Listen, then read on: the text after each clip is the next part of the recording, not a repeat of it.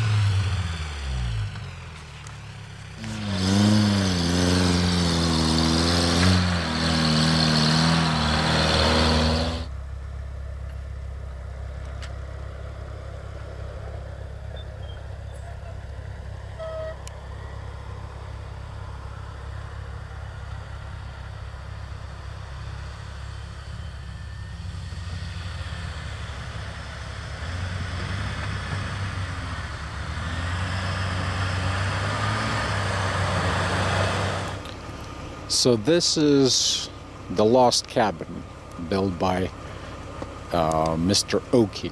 Don't remember his first initials. So that was the the main or where the main house. I think uh, that building over there was uh, the wool processing plant, and it's definitely a rough place to survive back in those days. I'm not sure what how how many of the buildings obviously uh, this garage here and that building is probably uh, either rebuilt or recent recent addition but that building in the background looks like more more of original it's uh, unfortunately close to the public uh, for touring. Maybe it will be reopened at some point. Oh, we're moving on. so we were riding along, came across this pretty deep ditch. I'm not sure about the condition of the eye. It's already uh, afternoon, so we're going to turn back and go back. But Mitch, so Mitch got this Jeep a couple of uh, couple of months ago, and um, tell me uh, what it's all about. Well, I got it for eight hundred dollars, and it was supposed to have a, a head gasket leak on it, but I ter- teared into it and found that it was just a radiator that I needed. So, replaced the radiator, and it's been running good ever since. What year is it? Uh, 2001, Um, How many miles do you have in it? 220,000. Still running pretty strong. Mm-hmm. So since you bought it, what did you do to it? I put a two and a half inch lift on it and these mud terrain tires. What size are those? Uh, 31 10 and a halfs. And uh, well, I see you had to trim the bumper a little bit, put the hooks, the tow hooks. Got a Christmas present from a buddy, the light bar, but really pretty much stock except for that little add-on lift and uh, little bigger tires. Yep. Right on. Well, we are we're going to head back, but uh, do you have a spare Spare tire. tire spare? Yeah, I spare do. tire. It's at home no. Well, nice because your right tire is flat.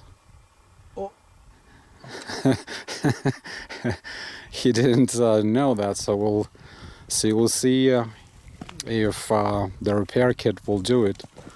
We have the compressor, we have the repair kit, and see if we'll uh, fix it since there's no spare tire. Off-roader. All right, let's get on to it. Are you gonna use my uh, high lift jack? Probably. I think it's the sagebrush somewhere. Or maybe sharp rock, who knows. Hopefully it's not a sidewall. Mm-hmm. Well, let's find out what, what it's all about. And Well, Mitch has Bobby, his, his buddy, riding with him. Bobby, why don't you open up my uh, rear and start... Get, well, first, you'll need to open up the swing outs and get the high lift jack. Mitch, what are you going to use for anchoring point for the high lift jack? Huh? Where are you going to... Uh, my bottle jack. are you going to use your bottle jack? I might. I think it would be able to reach high enough.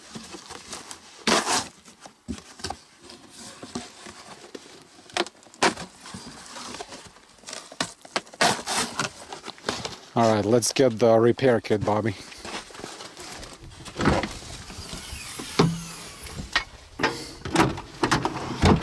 Um, get this drawer, open it up. Yeah, just pull it. And I think one of those plastic uh, containers have a repair kit. Uh, You can you can open it up farther. That way we'll have easier time. I think it was right after we dropped down from that big hill. That's good enough. So let's see which one has it. Not this one. I think it's this one here.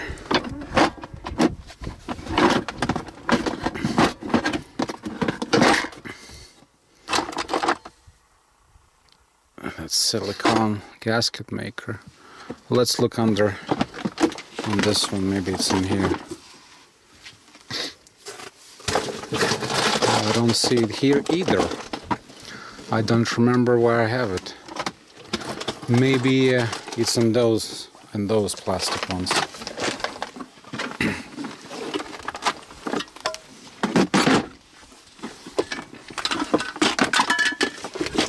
It's sidewall. Sidewall? I see it leaking out of there. How bad? Not very bad. Well, let's see if we'll be able to repair it.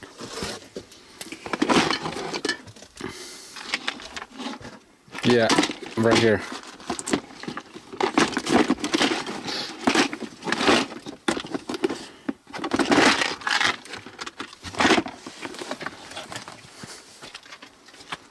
On the outside?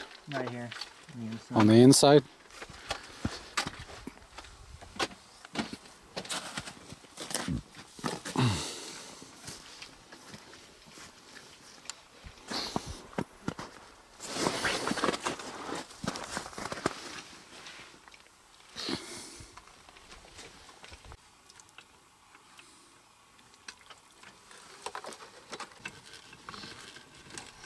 Might want to break the lug nuts loose first. That would be a good idea.